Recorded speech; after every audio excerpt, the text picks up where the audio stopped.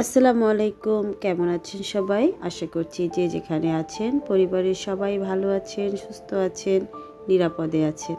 আলহামদুলিল্লাহ আমি আমার পরিবারের সবাইকে নিয়ে ভালো আছি, সুস্থ আছি। তো বরাবরের মতো আর একটা ব্লগ নিয়ে চলে আসলাম আমি। তো এখানে আমি রান্না করে দেখাচ্ছি আজকে ডাল দিয়ে মূলার তরকারি, মূলার ডাল। এটা কিন্তু শীতের দিনের একটা খুব পপুলার খাবার।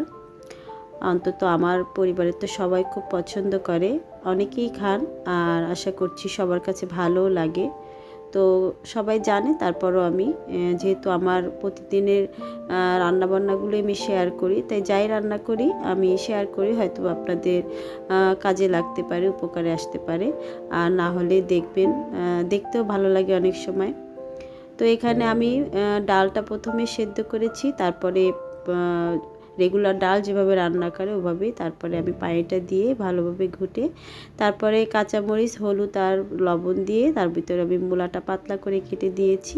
তারপরে আমি পেঁয়াজ মরিচ শুকনা মরিচ আর জিরার রসুনের ফোড়ন দিয়ে দিলাম। তো এই তো আমার মজাদার মূলার ডালটা হয়ে গেল। আর এখানে আমি লুচি তৈরি করছি। আসলে লুচিগুলো আমি নসিলা দিয়ে খাব। নসিলাটা যে শুধু পাউরুটি দিয়ে খাওয়া যায় তা না কিন্তু বিভিন্নভাবে খাওয়া যায় এবং এটা কিন্তু খুব টেস্টও লাগে। তো আজকে আমরা লুচি দিয়ে খাব। আমরা রুটি বা পরোটা দিয়ে কিন্তু খাই।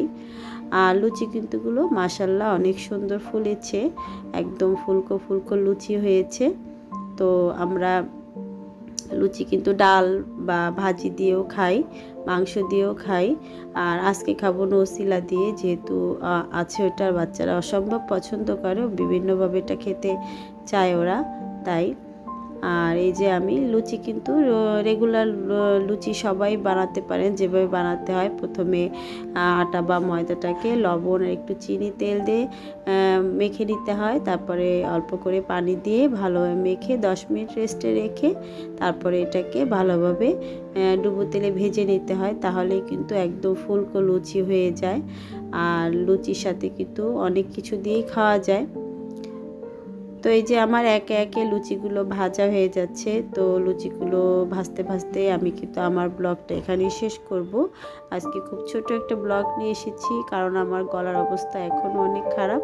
বেশ অনেকটা ভয়েস দিতে গেলে আমার গলাটা শুকিয়ে যাচ্ছে, কাশি হচ্ছে।